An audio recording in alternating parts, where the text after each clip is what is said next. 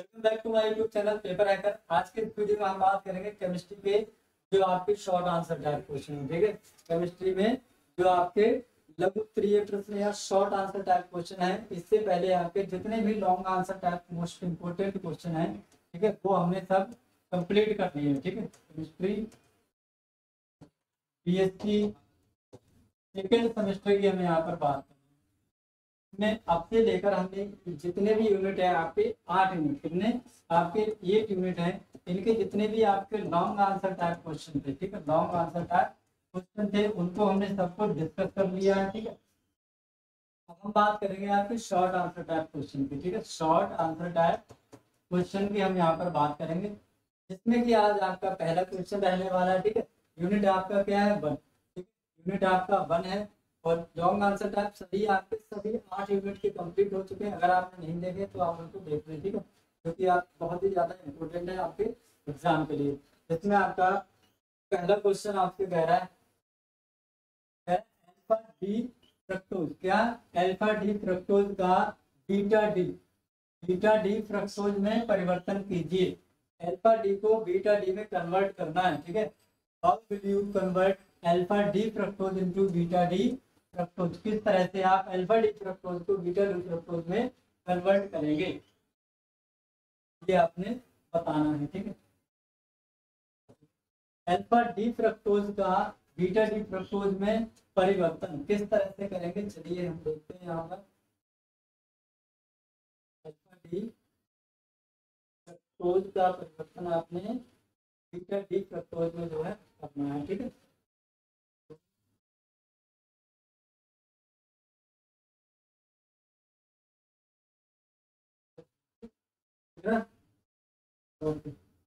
ये आपका क्या है? एल्फा डी फ्रक्टोज और ये इधर आपका क्या है? बीटा डी फ्रक्टोज ठीक है? और ये क्या है आपका? विस्तृत रूप, क्या है आपका? विस्तृत रूप है, ठीक है? किसका?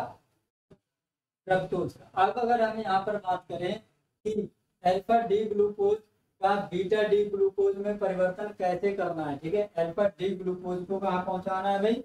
बीटा डी ग्लूकोज में पहुंचाना है। तो अल्फ़ा डी ग्लूकोज आपका क्या होता है? यानी कि आपका second first carbon, second third carbon, fourth carbon, fifth carbon और सिक्स कार्बन। यानी कि आपका सेकंड कार्बन और लास्ट वाले कार्बन के बीच में एक आपकी ऑक्सीजन रिंग बनती है। क्या होता है? सेकंड कार्बन और लास्ट वाले कार्बन के बीच में ऑक्सीजन रिंग आपकी बनती है। जब ये ऑक्सीजन रिंग बनती है तो क्या होता है यहाँ से? ये क्या होता है आपका? सी एच टू और यहाँ पर क्या होता है? OH ठीक है? यहाँ पर क्या होता है आपका? सी एच टू OH और यहाँ पर भी आपका क्या होता है? सी एच OH क्या होता है? सी एच OH तो इसमें से क्या होगा आपका? अब यहाँ से आपका एक ओ एच यहाँ से और एक एच यहाँ से। यानी कि H2O आपका क्या हो जाता है? बाहर चला जाता है, तब जाके ये रिंग आपकी बनती है। क्या होता है?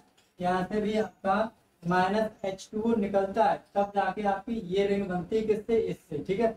यानी कि इससे हमें ये रिंग बनानी है तो कब बनेगी? यानी कि यहाँ का क्या ले लिया हमने? ओ OH ले लिया, ठीक है? और नीचे वाले कार्बन से क्या ले लिया हमने? H ले लिया। क्या बन गया अभी? ये बन गया आपका एच टू H2O क्या बन गया अभी? एच टू H2O बन गया, ठीक है? तब जाके ये मिलेगा। और इससे इसको प्राप्त करने के लिए, भाई, इस वाले से अगर हम इसको प्राप्त करेंगे, इस वाले को, ठीक है? ग्लूकोज फ्रक्टोज को तो हमें इसमें जल मिलाना होगा, ठीक है? ये हमने इसमें से वाटर रिमूव किया, तब जाके ये बना है अब इससे इसको, जब हमने वाटर रिमूव किया इसमें से, तब ये मिला वाटर रिमूव करने पर। अब हम इससे इसको प्राप्त करेंगे तो हम वाटर डाल देंगे, तभी हमें मिल जाएगा। तो हमने क्या करा, इसमें क्या कर दिया, इसमें भैया हमने पानी जोड़ दिया, जल क्या कर दिया ऐड कर दिया। क्या कर दिया, जल को ऐड कर दिया, ठीक है? ये कैसी है आपकी रिवर्सिबल अभिक्रिया है, कैसी आपकी रिवर्सिबल क्रिया है, ठीक है? तो ऊपर वाला तीर बता रहा है, ठीक है? ऊपर वाले तीर में हमने क्या करा? इसमें जल को जोड़ दिया, तब हमें जाके ये मिला है विस्तृत रूप। क्या मिला है? विस्तृत रूप हमें मिला है जाके। तो जल जोड़ने पर हमने कुछ इस तरह से ले लिया ठीक है? क्या कर दिया हमने यहाँ पर? यहाँ लिख दिया हमने एच और यहाँ पर लिख दिया हमने OH क्या लिख दिया? H, अभी ऊपर क्या हो जाएगा? आपका OH और नीचे क्या हो जाएगा? आपका CH2 एच क्या हो जाएगा? एक OH आपका इस कार्बन से और लग जाएगा। पहले क्या लगा हुआ है? सी एच टू एच और सी एच अब क्या हो जाएगा आपका? इस कार्बन से एक ओ एच आपका और लग जाएगा, जो कि यहाँ पर लग गया। H two H O H O H भाई दो ओ एच हो गए आपके कार्बन नंबर दो पर। अब तक कितना था? केवल एक ही ओ एच था ठीक है? कितना था? एक ओ एच था, अब कितना होगा? दो पर। अब हमने क्या करना है? अब हमने बीटा डी फ्रक्टोज बनाना है। अभी हमने एल्फा से क्या बना लिया? विस्तृत रूप बना लिया ठीक है? अब क्या बनाना है? बीटा डी फ्रक्टोज बनाना। क्या बनाना है? बीटा डी फ्रक्टोज बनाना। तो बीटा डी फ्रक्टोज बनाने के लिए देखो क्या करा। जो आपका दूसरा कार्बन है, ठीक है? दूसरा कार्बन और जो आपका छठवा कार्बन दूसरा कार्बन और आपका छठवा कार्बन दो छह कार्बन दूसरे कार्बन का ओ OH ले लो और इधर छठे कार्बन का आप क्या लेना हाइड्रोजन लेना ठीक है? तो माइनस क्या हो जाएगा आपका? एच टू हो जाएगा। क्या हो जाएगा? माइनस एच टू हो जाएगा तो यहाँ पर क्या करना है? यहाँ पर ऊपर आपको माइनस करना है, ठीक है? ऊपर वाले तीर पे आपको माइनस का एच टू लिखना है। तो यहाँ पर क्या हो जाएगा आपका? ये जो स्ट्रक्चर बनेगा, ये क्या होगा आपका? बीटा डी फ्रक्टोज अंतर दोनों में क्या है? भाई यहाँ से ओ OH निकल गया और यहाँ से एच निकल गया। अब दूसरे कार्बन और इधर फ़र्स्ट वाले कार्बन के बीच में क्या हो गया? ऑक्सीजन रिंग बन गई, ठीक है? दूसरे कार्बन और फ़र्स्ट वाले कार्बन के बीच में सिक्स वाले कार्बन के बीच में एक ऑक्सीजन रिंग बन गई। और जो स्ट्रक्चर हमें प्राप्त हुआ, ये हमारा क्या है? किसकी संरचना है? बीटा डी फ्रक्टोज की। अब बीटा और एल्फा देखो एल्फा डी फ्रक्टोज और बीटा डी फ्रक्टोज में अंतर क्या है? कि आपका जो ओ OH ग्रुप है, ठीक है? क्या है?